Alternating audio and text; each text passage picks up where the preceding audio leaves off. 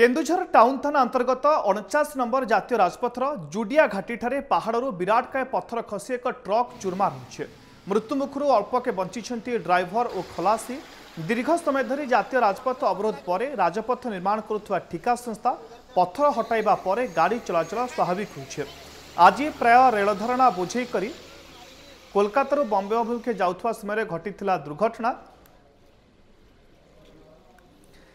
এই জাতীয় রাজপথটিকু মন্টেকালো ঠিকা সংস্থা কাম করুবা বেড়ে নিম্নমানর কাম ও পাহাড় বন্ধি যোগ কেতবে দুর্ঘটনা তো কেতবে পাহাড়ু পথর মাটি ও গছ খসি ধনজীবন নষ্ট হেউথবার দেখা মিলুছে